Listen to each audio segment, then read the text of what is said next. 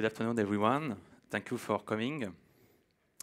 So in this presentation, we are going to talk about connected sensors and uh, data visualization to measure how hard working conditions are. So good afternoon. I am Christophe Jollivet, and I'm working at Apside, which is a French consulting company.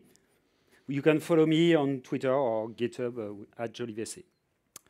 My name is Sébastien Laporte. I work also for Apside as a software engineer, and uh, you can follow me on Twitter and follow my project on, uh, on GitHub. So th this project started with a discussion with one of our industrial clients. He was thinking about the workstation configuration inside the manufactory. They were tr trying to reduce the burden on the handler. So we, speaking with them, we try to find a way to, to have an impartial measure of this burden. So, hard work condition will depend on four things, which is the posture. Either you have to crawl inside something in order to work. This is the repetitive gesture. You've got to take something over your head every minute or many times per minute. This is physical work you've got to lift some heavy things, or it may be the environment, meaning the noise or the temperature. Hard working condition is an interesting subject for company because if your work conditions are too hard, two things may happen. People will leave your company and you, it will cost you because you will lose some knowledge, it will cost you time, it will cost you money also to recruit and to train a new uh, employee. The second one is that people may hurt themselves and they will go on sick leave and then there will be some disorganization in your work and you will also lose some money.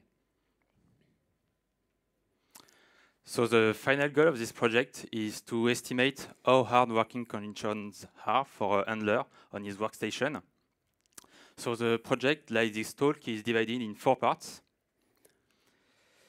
So for the measurement part, uh, we have different type of sensors.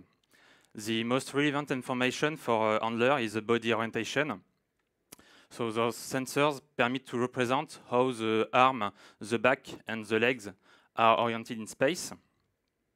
To complete this information and to quantify this physical effort, uh, we have a heart rate sensor. In fact, the greater the effort is, the higher the heart rate will be.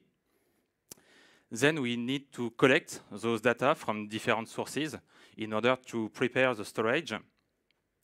And for the storage part, we need to find the most suitable solutions uh, to store this type of data. Uh, we will discuss that uh, later on. Finally, the analytical part. So we divided it in two steps. The first one is the graphical movement visualization to represent the body. At this stage, we can make a visual analysis. For the second one, we wanted to create dashboards and indicators to replace the visual analysis to move toward a more objective one. So in this first part, I'm going to present how we designed our own sensor to, to the body orientation.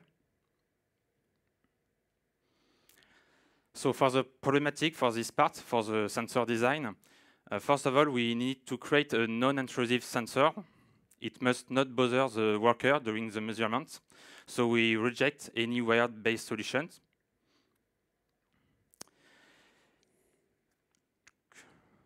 In the, in the context of this project, uh, we wanted to create a prototype. So we use consumers electronics to create our first sensor and to validate our solution it's not the finished product. So because we reject a wired solution, we oriented our technical choice on a wireless solutions usually used in IoT. So we need to choose a solution taking into account the simple implementation problematic. It's not the priority for a prototype, but we need to take care of the power consumption to get a significant type of measurement. And finally, the main problematic uh, for the sensor design is the estimation of the orientation. In fact, you have to know that there is no sensor on the market that allows us to obtain directly the orientation in space as uh, usually represented on three axes.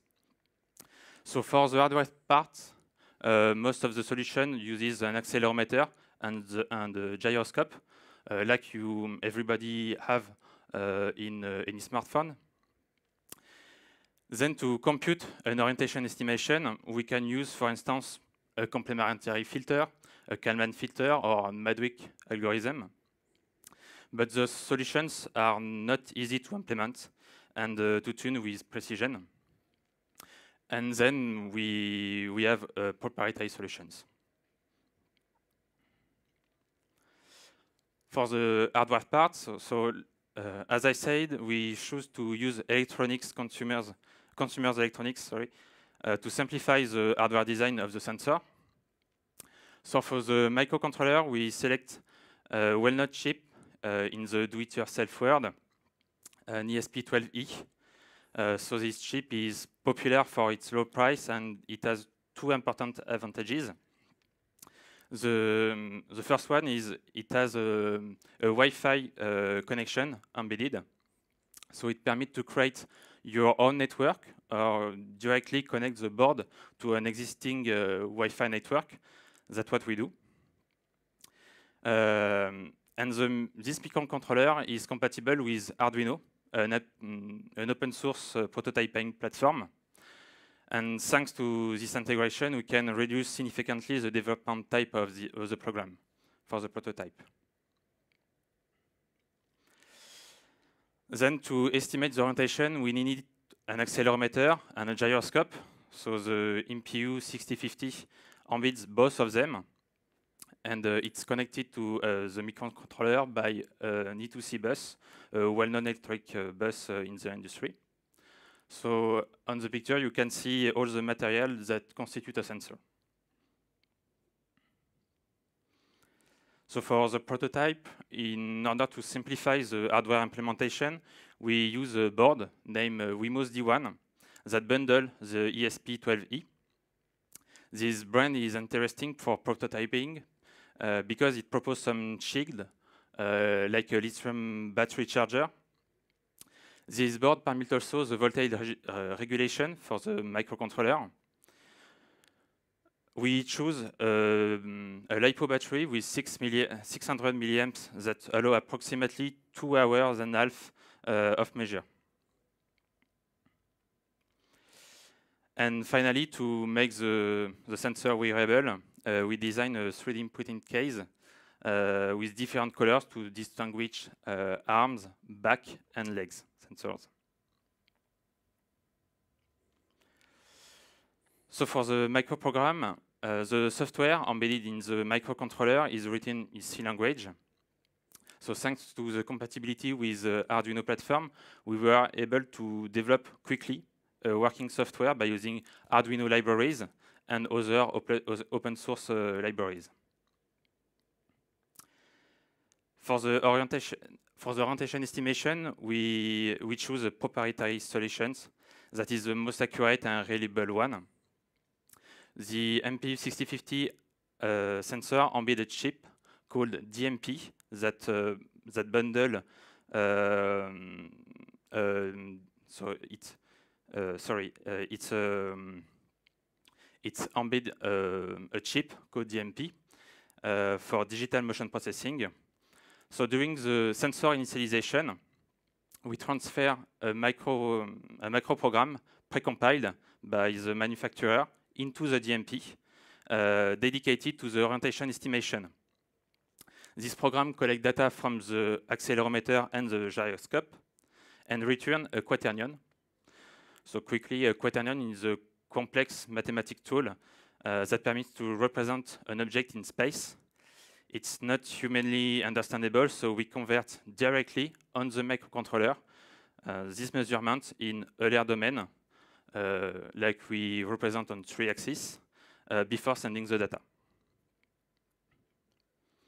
So the Arduino program is divided in two parts, the configuration during the microcontroller initialization and the main loop. So the configuration part is the most complex one. We configure the Wi-Fi uh, connection and the OTA. It's an Arduino lib library that allows to update the sensor uh, microprogram through a Wi-Fi network. Then we configure the sensor, so the I2C, I2C connection uh, to connect the, the microcontroller to the sensor. We upload the microprogram, uh, precompiled microprogram to the DMP for the orientation estimation. And finally, we configure interruptions. So we use interruption to trigger the collection of data from the DMP and the sending of data. So when the DMP has done an orientation estimation, it triggers a material interruption by a microcontroller hardware input. And to send the data, we configure a software interruption to trigger the data sending five times per second. So each sensor, we have six sensors that send three values for each orientation axis, uh, five times per second. So we've got these uh, six sensors. You can see them. I'm wearing them on my arms, my, my tight, and on my back. And this sensor we send the data, and we need something to collect all this data. We choose to have an autonomous solution. We don't want to bother the worker in the manufactory, so we've got to have something with no wire, no connection, something with low consumption. We don't want the people to wear a huge battery. And uh, we also choose uh, for this to have an isolated storage. So we, as we want to reduce the size of the um, collector, we don't want to put the storage on it, and we choose to put it apart. And we have to, to find a solution for this, the communication between the collector and the storage system. And also, as the worker may be able to walk through the manufactory, we may lose the connection. So we need to have a buffer on the worker. For this part, we choose to work with MQTT. So MQTT is a message broker protocol. It has low resource consumption. There are many open source implementation. We choose to work with uh, Mosquitto. And uh, this is easy to use. On the left, you've got the sensor. This sensor will publish the data inside an MQTT topic on the MQTT broker. And on the other side, on the right, you've got the storage systems that will subscribe to the topic and get the message. One interesting part of the MQTT uh, protocol is that there is three levels of uh, quality of service.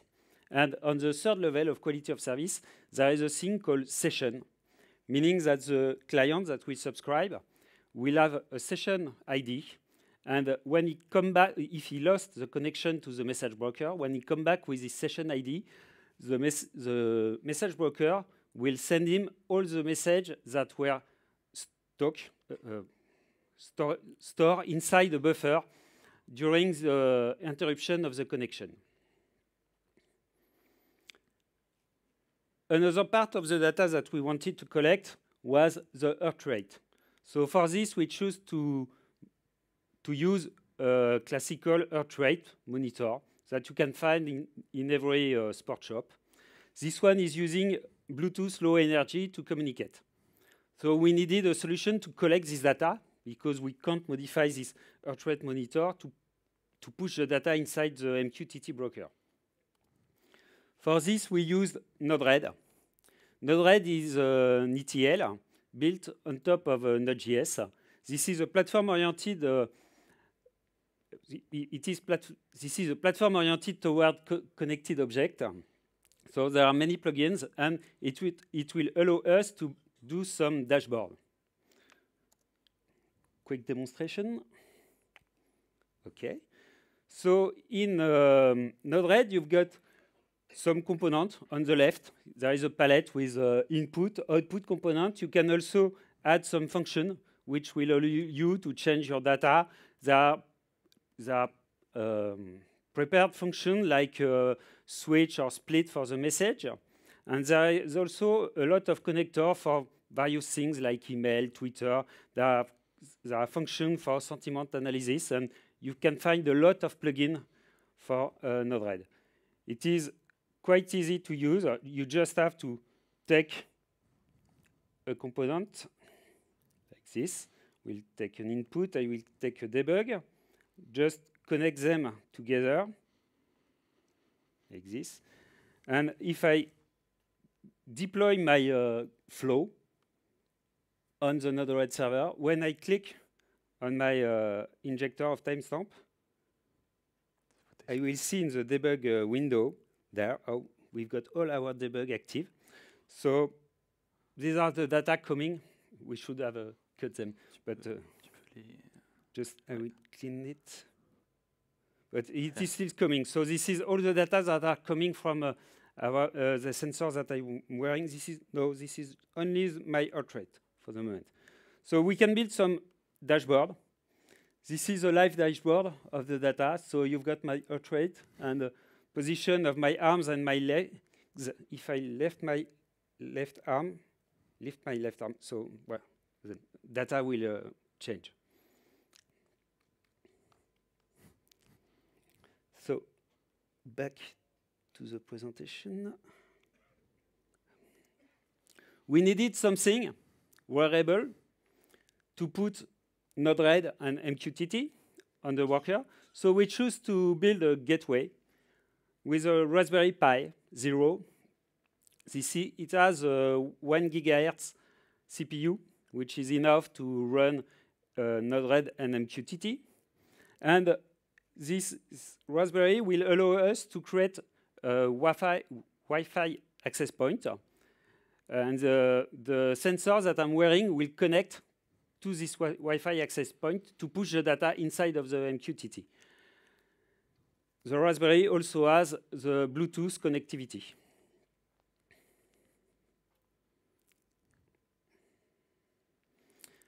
Now that we have collected all our data inside the MQTT broker, we'll need to find a way to store them for longer time and to facilitate the analyze. The problematics with this storage was they were the timestamp, the storage format, the injection of the data inside the storage, and finally the visualization and the analysis. We needed to find a good timestamp because we needed to have a, a synchronization between the different sensors. So there is no real-time real clock on the sensor and on the Raspberry Pi. So what we've done is that we've got uh, an NTP client inside the gateway, the Raspberry Pi. And this NTP client will connect to the storage system at the startup to get the, real, the, the time. And after this, we use Node-RED that will just listen to the topic where the sensor will push the data, and it, it uh, receives this data, put a timestamp on the data, and then push them in another topic where there will be a session for the collecting system.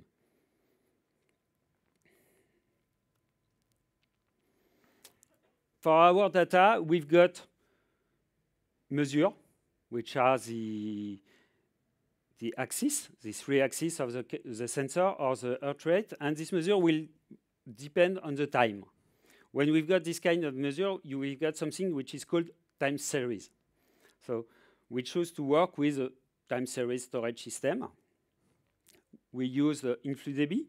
So you've got things in the time series DB, which is measurement. Measurement is kind of a table in a relational database. In this measurement, you've got the time, which is a timestamp for the measure. You've got a value, which is the data that you received. So each line will be a point your, on your graph. And on this line, you will be able to, to add some tag, which is some metadata for the value. Here we've got the direction of the data, meaning that we've got a measurement for my right arm, a measurement for my left arm, and so on. And for each of these measurements, we've got three lines per, per timestamp with a tag uh, to precise if this is the X, Y, or Z angle. InfluxDB has a query language which is close to the SQL, and we've got to use a time range inside of your where clause in order to get your data.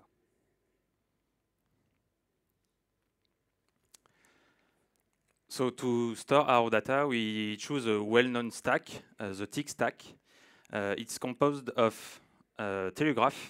Uh, so it's an agent that permit to collect and inject data in uh, many systems like message queue or database. Then we have InfluxDB, uh, so a time series database with a request language very similar to SQL. Uh, then we have Grafana, a web interface uh, dashboard that allows to visualize data from uh, many sources, uh, including InfluxDB. There is an alternative to Grafana called, uh, uh, called Chronograf, made by uh, the, the editor of Influ, InfluxDB and Telegraf. But for now, Grafana is a more complete tool. Then to complete this stack, uh, we added Kapacitor that allow to compute data uh, by stream or batch, and we will discuss that uh, later on. So about this stack, we found a blocking drawback uh, with Telegraf for our application case. We can't inject a timestamp uh, during the with the data. Indeed, during the injection, uh, Telegraf had itself a timestamp, and it's not possible to, to change this value. So as Christophe said, uh, our data are timestamped by uh, an thread on the Raspberry Pi, before sending the data um, in a topic. And this mechanism permits to create a buffer. So we decided to remove Telegraf uh, and uh, we replace it by Node-RED using a dedicated uh, plugin to inject data in InfluxDB. Uh, so here is a screenshot of uh, the flow that permit to do that. We have an MQTT reader connected to a topic. So we have uh, raw data on this topic. Then we, we have um, a JavaScript block function that permit to format the data. Uh, and then we, we use the, the plugin uh, to inject the data in InfluxDB. So I'm going to show you during this demo how we use Grafana to visualize uh, data from InfluxDB. So here we, we have uh, recorded data, so a dashboard to visualize uh, some raw data. Uh, on the top, uh, we have some uh, gauge, uh, gauge widgets that permit to have the mean value of the arm angle and the leg angle for this period of time, just here. Uh, here we have the mean value of the heart rate. Uh, then we have a graph that uh, that represents the heart rate uh, on the time, the arm orientation, legs, and back. Uh, so there is a really good integration between uh, and Grafana. So I'm going to show you how you can use this tool. So the first thing to do is uh, to create a data source. Uh, so here we have our InfluxDB uh, data source. So the, it's really simple to make the connection. We you add the URL uh, of the of the InfluxDB for the connection, uh, and you add the you select the database uh, and the credentials. That's it. And then you can create a new dashboard. So you have some widgets uh, with uh, Grafana. So the, the most important are graph or single stats. A single stats is, for example, a gauge that you see on the on the last screen. So for example, we can create a new graph. Up, we configure this graph.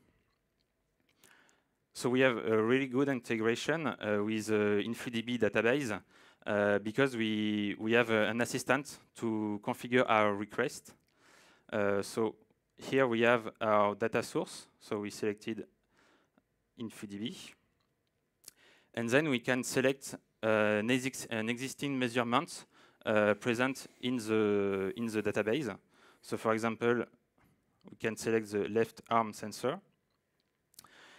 So this is the, the measurement, and we can select then the type of measurement, so the tag. So for example, this. We can add a name. So left arm. We can select the range. So here we have the the graph of the left arm of uh, Christophe since the, the beginning of the presentation. Uh, if you want to to see the the query, uh, you can see here uh, what is done by the by the assistant. Okay, so let's have a analysis.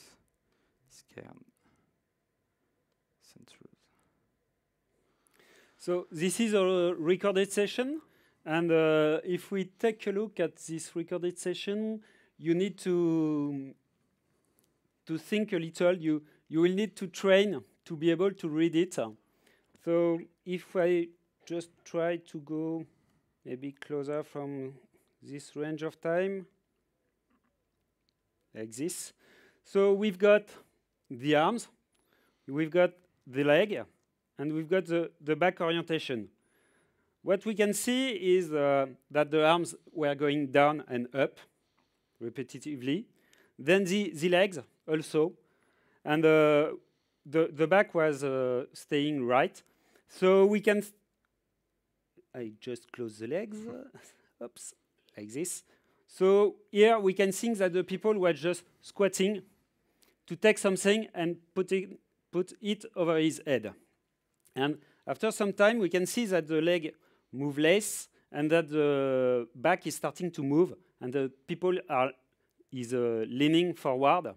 So we can think that he, stopped to squat and he's starting to just lean forward to take the things on the floor and put them above his head, which is a bad position for work. After this, there is some, some walk. And maybe here, as there is more more movement, we can think that he is climbing or climbing some stairs. And uh, after this, the leg go on the horizontal, so we think that he may be sitting. And uh, if we go back to the heart rate, we can see that the heart rate is going down, so I think that he is really sitting.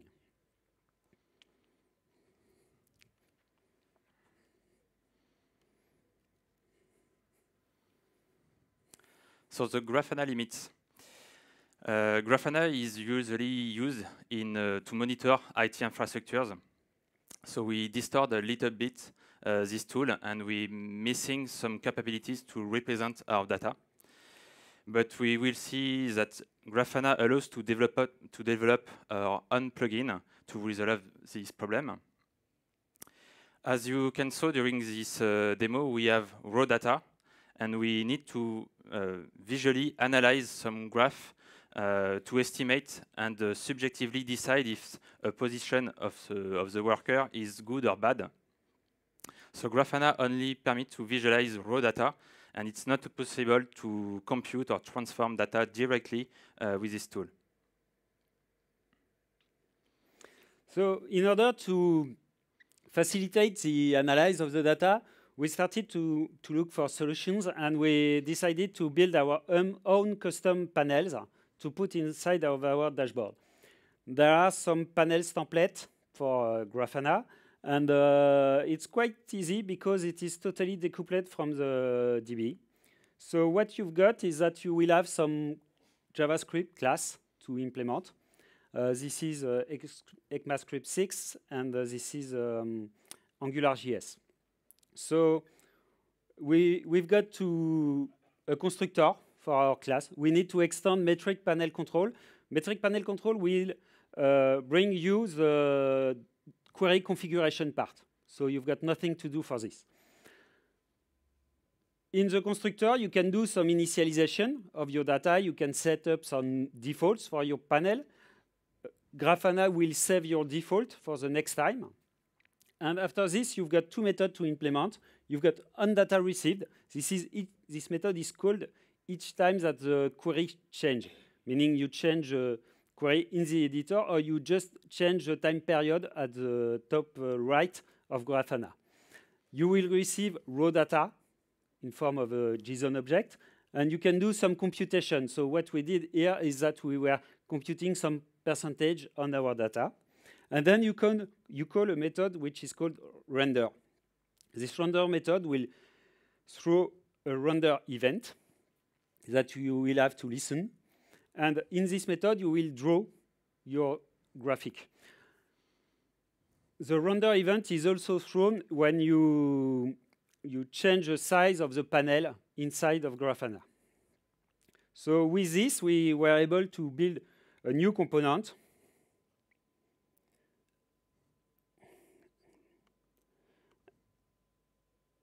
um, custom plugin. And uh, with this component, we were able to show the time that we spend with, for the arms or for the, the earth, the percentage of time uh, above or under certain measure. This component, you've got the query creation that is bring by the metric panel.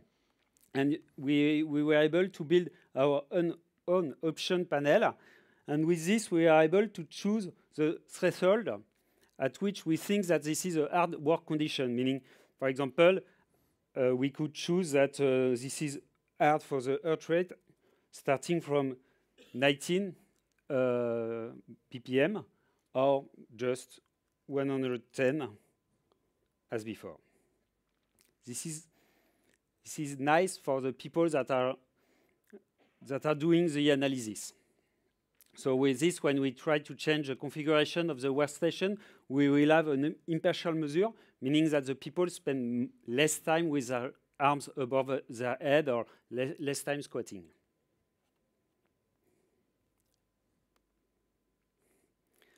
The next part to enhance the analysis was to use Kapacitor.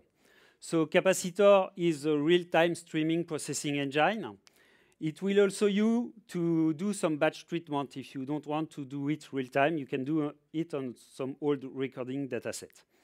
This is an extensible system, and you will have to write script that in a language that is called TICK script. This is TICK for the Telegraf, InfluxDB, Kapacitor, and uh, Chronograf and Kapacitor. So this language will use, uh, we will use some stream at the top, you see that we choose the, the DB we are working on, and then we create a stream from the measurement of the right leg, and we want the Y value. Then we create another stream coming from the upper back, and we want the Z value. And we, we then join these two streams. You need to add some tolerance uh, because it will join if you've got the same timestamp. But as our sensor, we, we may have some variation in our treatment, and we've got five measures per second. So we choose to work with a tolerance of, of 200 milliseconds. Then we do some computation. Here we are just looking for the legs and the back. And uh, if the people is not squatting and the back is leaning forward, then we return either one or zero and you can push them with an, an, an handler inside another measurement. So Kapacitor is extensible because you can create your own handler. This is Go that you need to write. And you, there are many handlers. We use the ones that push the data back inside InfluxDB, but you, there are some for Slack, for pagers, mail, and you can use some for, you can create your own, and we could create uh, that there is an MQTT one, and we could push back the data inside the MQTT in order to ring a bell, for example, with a Raspberry Pi on the worker if he use a bad position. So with this new treatment using Kapacitor, as you can see here, I've got on the top in green the upper back measure. At the bottom, we've got the leg measure. So here we can see that uh, I was uh, squatting and just slightly leaning forward, and then I, I do a complete uh, leaning forward and no squatting. And the system detected it and said that I was using some bad position and it put it in red on the graphs, which will uh, ease the analysis.